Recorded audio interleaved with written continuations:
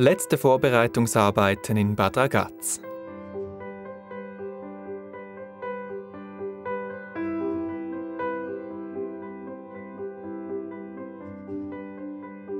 In Reih und Glied sollen sie stehen, die Schweizer Persönlichkeiten aus Holz. Die Ausstellung ist Bühne für Figuren und Künstler zugleich. Es ist eine sehr wichtige Ausstellung für mich. Es ist die erste große Ausstellung. Es ist die, äh, eine Ausstellung, in der ich äh, teilnehmen kann mit meinen großen Skulpturen. Und das ist äh, sich, äh, von entscheidender Bedeutung jetzt für mich als Künstler.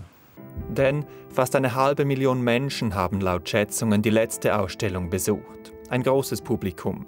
Über 1000 Künstler haben sich deshalb für die diesjährige Ausstellung beworben. Aber nur 77 Künstler können ihre Objekte ausstellen.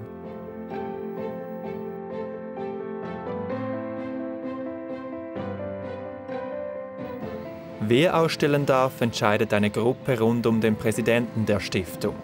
Im Jahr 2000 begann Rolf Hohmeister mit der ersten Ausstellung.